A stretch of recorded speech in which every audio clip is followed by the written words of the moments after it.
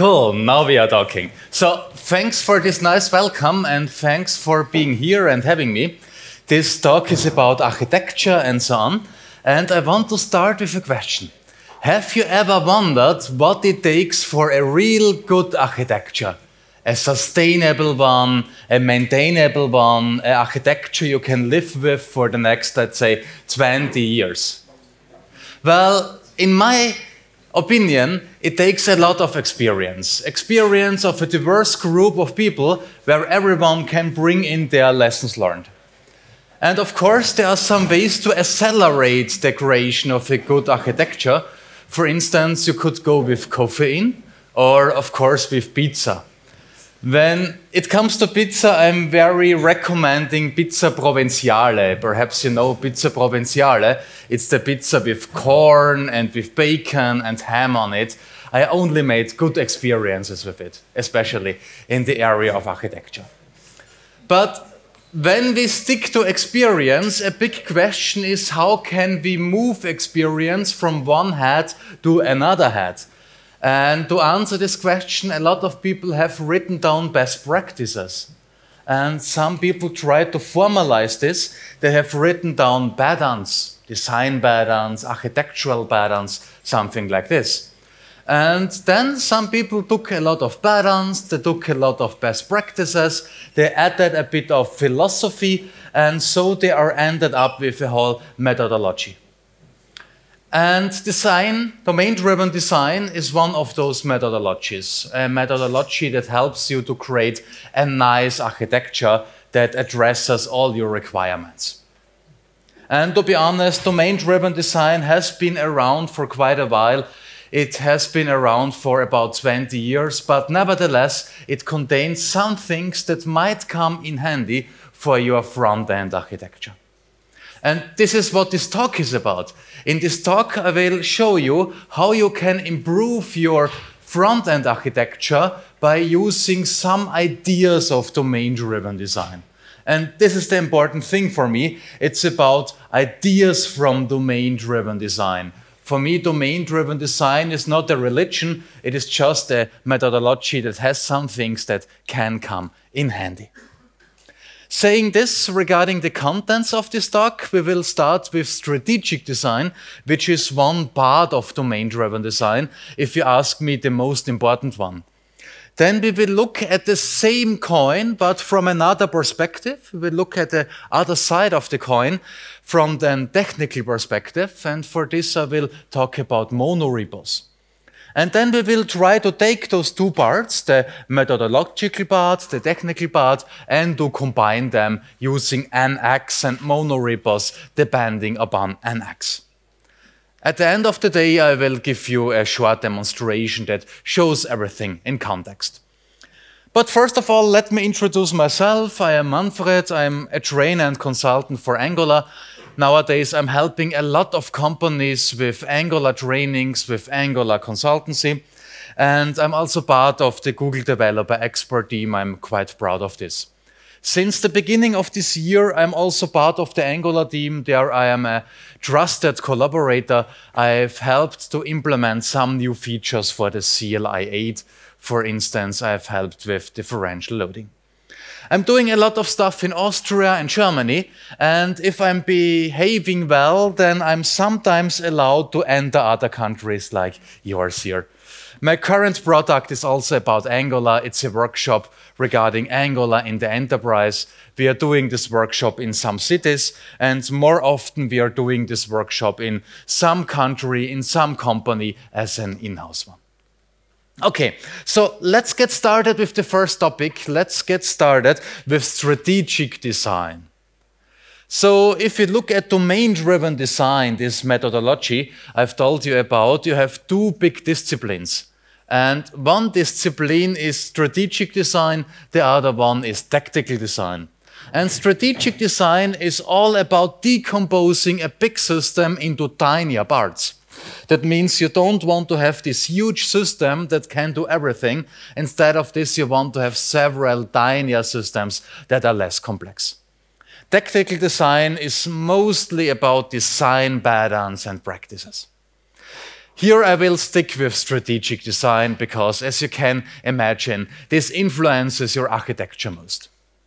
And if you would ask me to show you just one slide that explains what strategic design is about, I would say it prevents this situation here. This very situation where you have a big system where everything is intermingled with everything else. Of course, something like this is not sustainable, something like this is not maintainable. Let me give you an example. When I've prepared for this presentation, one system came in mind, namely an e-procurement system that allows employees to order some stuff, for instance, a sheet of paper or a pencil or perhaps a new laptop. By the way, this was the first software system I was fully responsible for. It was about 20 years ago. And you know, your first project is like your first big love you will never forget it. It will always be somehow in your mind.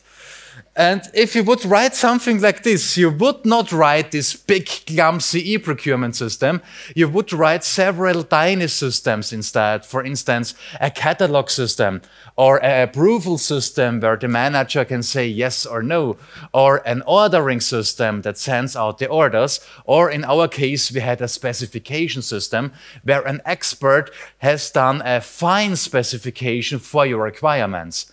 For instance, you said as an employee, I need a new laptop, and the expert said, oh, you are a power user, you get this laptop, or oh, you are not a power user, you get this, let's say, tablet or this weak laptop. A very nice example back then we had in our uh, documents was perhaps someone is requesting a CD burner. You see, it has been a long time. And the CD burner was back then an object of prestige. And not everyone is allowed to have a CD burner, the people say it's there. And so the specification folks have to decide upon whether this person deserves the CD burner or not. Funny example, if you ask me. Well, you will decompose your whole big system into tinier parts, and those parts are called subdomains. And this is really the hardest part of it, finding good subdomains. One interesting thing about subdomains is that each and every subdomain can have the same entities, but they can have a slightly different meaning. Just look at my catalog system and at my approval system. Both has a product, but the product itself has a completely different meaning. The product in the catalog is a big thing because the whole catalog is about products.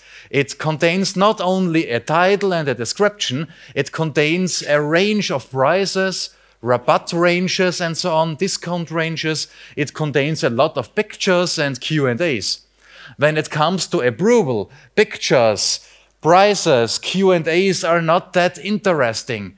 For the manager, the selected price is interesting, the selected title, and of course the budget that is used to pay for this product. So as you see here, you have the same names, but behind those names you have completely different concepts. And when it comes to domain-driven design, you not even try to unify those concepts because if you try to unify those concepts, you have this big product entity that is connected to everything in your system. And so you will end up with a not good architecture where everything is intermingled with everything else.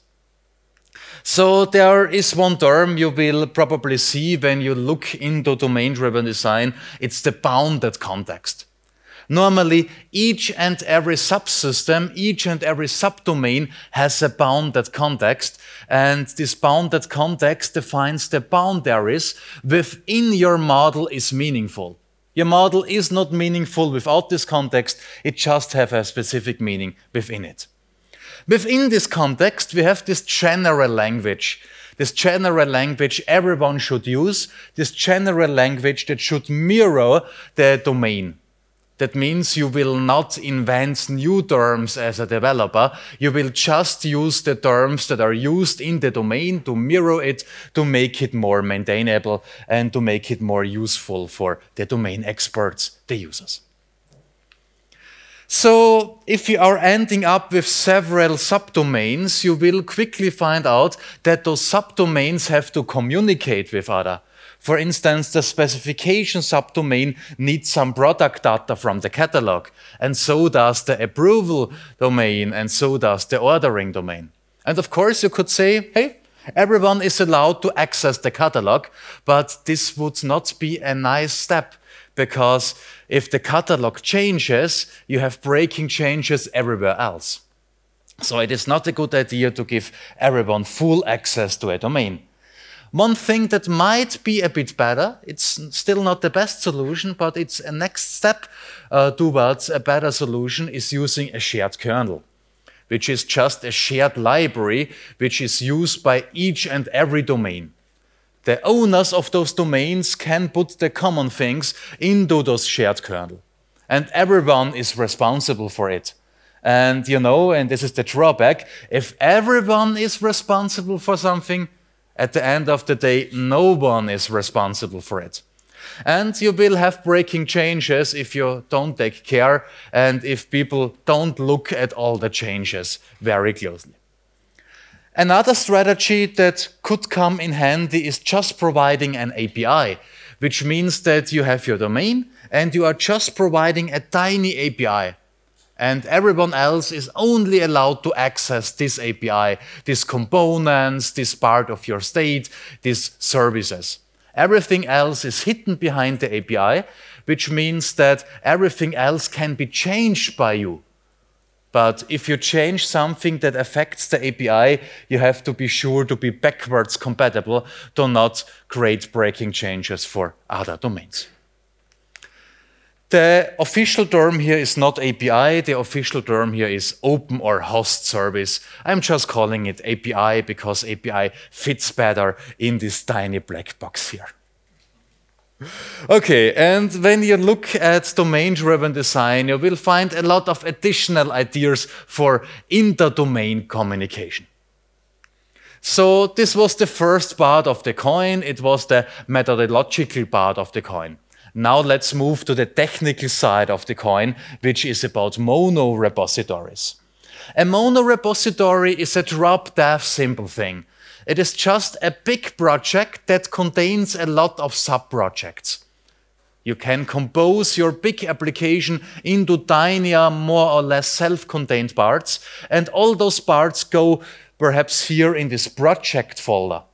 And this has several advantages. One advantage is this node modules folder here. Not that it exists, but that it exists just once. That means that all your sub-projects are using the same version of Angular, the same version of RX. And this is probably a nice thing because just imagine you would use Angular 5 here and Angular 7 there. And then you try to compile everything together. I guarantee you all hell would break loose. This is prevented by this structure here. Another advantage is sharing your libraries is not difficult. Just check it in into source control and your colleagues will check it out from source control and get a state, a bunch of libraries that can work together, that have been tested together. So creating a workspace is quite easy nowadays. You can leverage the CLI. Perhaps you have seen this. You install the CLI, you new up a new workspace, and then you can generate an application within this CLI or a library. Of course, you can also generate further applications or further libraries. Then you can serve your application and then you can build your library or either your application just by pointing to the name of your piece of code. So this is really quite straightforward. If you love this idea with decomposing a big system into tinier parts, if you love this idea of monorepos, I would look into NX. NX is what I'm calling the sugar dip on top of the Angular CLI.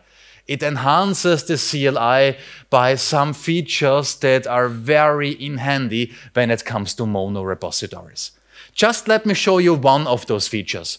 One of those features is you can easily visualize which libraries you have, visualize which applications you have, and visualize which part of the system is accessing which other parts.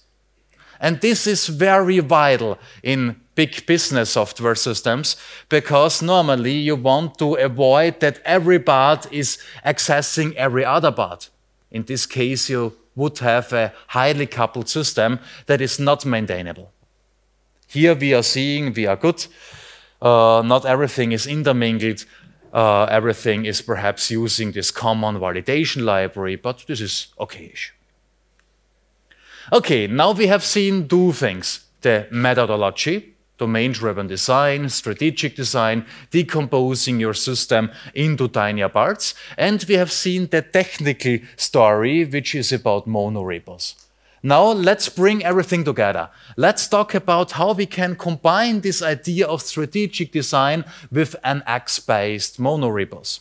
And if I would do this, first of all, I would just create folders for all my domains. Here I'm just sticking with two domains for the sake of the uh, tiny screen, of course. I would also add a shared kernel, a artificial shared domain, which contains the shared kernel and other shared technical libraries. And then within those folders, I would start with creating libraries, layers of libraries. The first layer is what I'm calling the feature layer. The feature layer contains libraries with feature modules. Every feature module contains just one feature, one use case, like order a product or approve a product. So you would end up with several feature libraries here. Then the next layer of libraries is a layer of UI libraries. They contain dump components components that are not aware of features, components that are not aware of use cases, but components that can help to implement them. Just think about a date time picker. The date time picker is not interested into the use case it is used in. It is just there, and so it can be used across several use cases, across several features. Or think about an address component. Many business products have this address component that assures that the address looks the same in each and every use case. The next layer contains your domain logic, which is about validation logic, which is about calculations. And then you have utilities with general stuff you need everywhere. When you are doing this, when you are introducing layers, you can easily introduce a rule this rule is called relaxed layering. Relaxed layering means that each and every layer is only allowed to access the layers below. In this situation, this means features are allowed to use the UI, the domain utils. The domain is only allowed to use the util layer. The util layer is not allowed to use anything. This prevents cycles, for instance. Just think about a situation where everything is allowed to access everything. You would end up with cycles, and perhaps you know it, TypeScript is not that amused about cyclic dependencies. And in addition, it's also not good for a system you want to maintain, you want to reason about. Because, you know, when everything is intermingled. We've talked about this. Well, every rule has an exception, and the exception here is that the UI layer is not allowed to use the domain layer because UI components are dump components. They shall not know the use case. The data picker is not interested into your use case. So this is the first kind of access restrictions that helps you to prevent uh, cycles, that helps you to have a proper structure. The second restrictions are about domains. Here you would say each and every domain is only allowed to access things with its own domain and within the shared kernel. Catalog can only access the catalog and shared. Ordering can only access ordering and shared. Of course, also here we need an exception for this rule. As we have seen before, sometimes one domain needs access to another domain for instance, as you have seen, the ordering domain needs the products of the catalog. And this is where our API comes in. Our API, which is just a library that exports specific selected things for other domains. And as mentioned, only those things need to be backwards compatible, the rest can change. So one thing that's also vital here is you should try to isolate your domain, which means the domain layer is isolated by an so-called application layer, which is the official term in domain-driven design, and an infrastructure layer. Let me give you some terms of the world of Angular that explain those two layers. The application layer is about use case specific facades. And if you have followed the topic of state management in the last months, you have seen that people like to create facades that sit in front of their store, facades that provide everything you need for a use case. And the infrastructure layer, of course, is about things like data access or accessing browser APIs like the geolocation API, like IndexedDB. This you want in general to abstract away. You can substructure your domain library, or you could also create several libraries for those aspects. It's up to you. But the point here is isolate your domain. Perhaps you are wondering why I'm creating that tiny libraries. You have seen each and every feature module has its own library. And creating tiny libraries has several advantages. One advantage is a tiny library can be the unit of recompilation.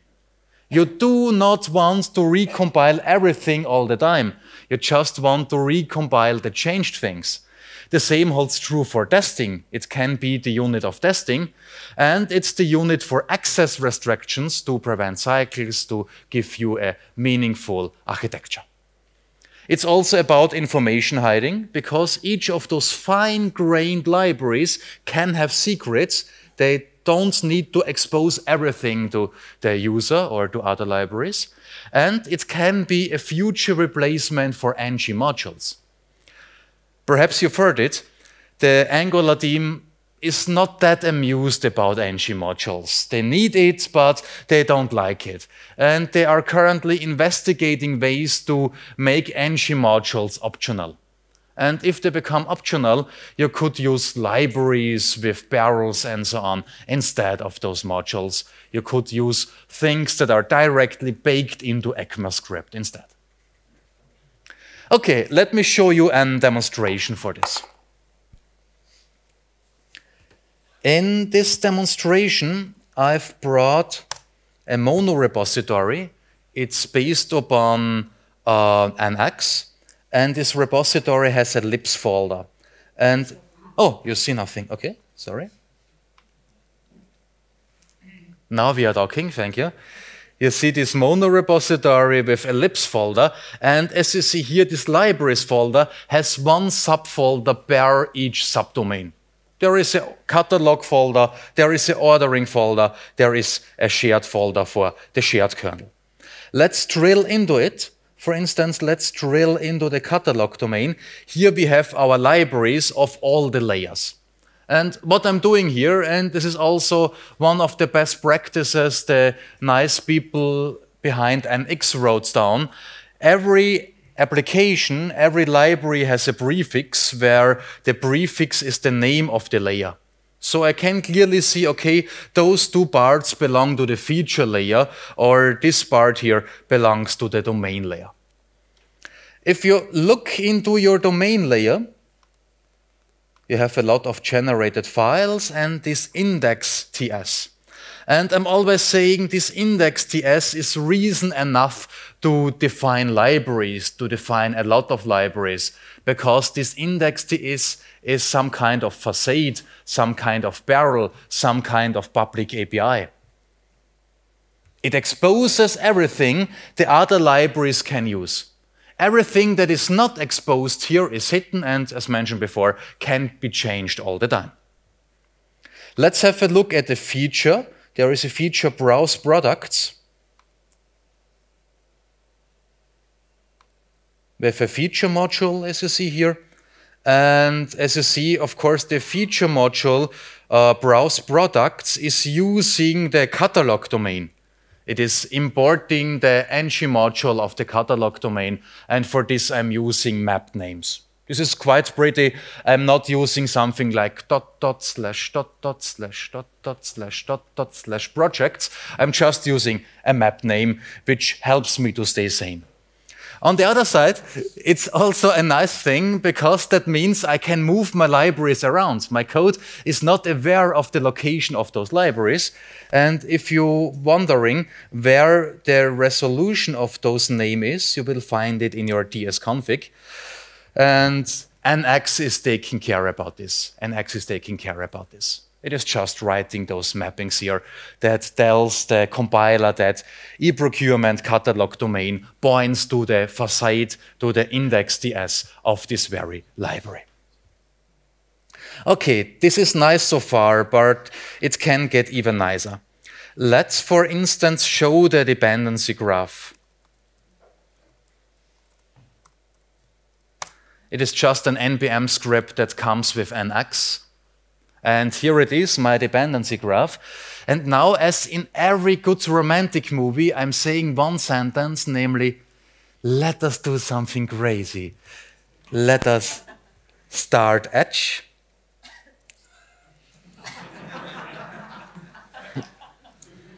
I'm doing this for a specific purpose.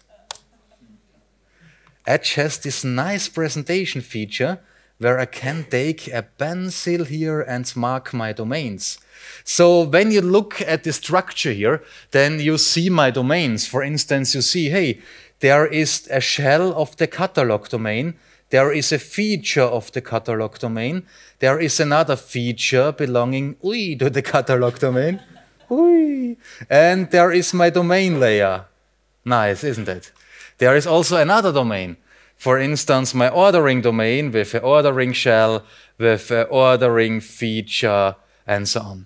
By the way, the catalog API is also part of my catalog domain. It exposes stuff for other domains. And then there is shared stuff. The UI address library is part of my shared uh, kernel as well as the util authentication library. And so you can see at first sight, yes, I have several domains here and they are not intermingled with each other. There is a way to access parts of those domains and this way is really defined. It is well defined. I can access the API or the shared kernel. And now let's do something that's very bad. Let's do something like this. Let's access an UI part from our util layer. Normally, a util layer is not allowed to access UI parts because your authentication logic should not directly use some component. It is just a logic. And it is also against my layering rules when you are remembering this matrix I've showed you before. Utils have been on the bottom of this matrix and UI have been somewhere above it. So let's try to do this. For this, I'm switching to my, oh, what have I done? For this, I'm switching to my shared module. And here I have prepared some bad code and you see immediately, boom, a project tagged with util can only depend on libraries with, well, nothing uh, which means in good English, a util layer is not allowed to use any other layer to prevent cycles. You can have restrictions like this all the way for all the things I've shown you before. It is just a matter of linting. You can configure your NX-based monorepo with linting rules that take care about this. The best thing about this is you can also run this linting stuff on the command line. I guess you know it. ng-lint project util shared out. And then we should get the same slap into our face. We are not allowed to use this library from the utility layer. And now if you think one step further, perhaps you are still doing this, you could introduce this into your source control system. And so perhaps the source control system does not even allow you to check something like this in, to check code in that drives across the one way. Okay, so let me sum up. What have we seen today? We have seen that it is probably a good idea to slice your application in subdomains, in tiny self-contained subdomains to prevent this intermingled situation. This is also what I'm calling vertical slicing. And then you should slice the whole things into layers. This is what I'm calling horizontal slicing. And you should use something like layering. Could be strict layering or non-strict layering, which is also called relaxed layering, where just each layer is only allowed to access the layers below it. You should go with fine-grained libraries because the library can be the unit of recompilation, the unit of retesting, and the unit for access restrictions saying this enforce restrictions so that not everything is intermingled with everything else. And there is a last thing I want you to remember. If you forget everything, please always remember this one tiny aspect. It's very vital for me. Namely, when doing architecture, Coffeein and pizza can accelerate the whole process. And as mentioned before, I'm recommending the pizza provinciale, you know, ham, bacon, and so on. Okay, so thanks for coming. Uh, you find my coordinates here. You also find all my material on my blog. And here you have also some further informations about my workshop. So thanks for coming. And if you want, follow me on Twitter so that we can stay in contact. Thank you.